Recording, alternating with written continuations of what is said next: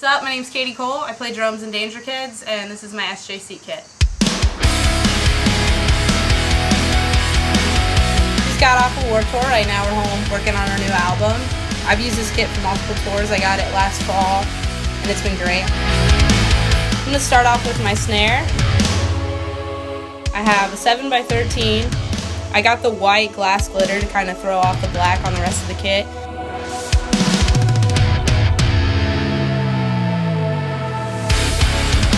Have 8 by 12 rack tom, 16 by 22 bass drum, and then I have the 14 by 16 floor tom.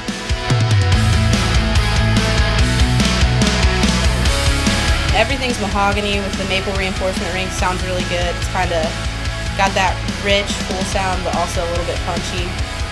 And I don't know, I love it.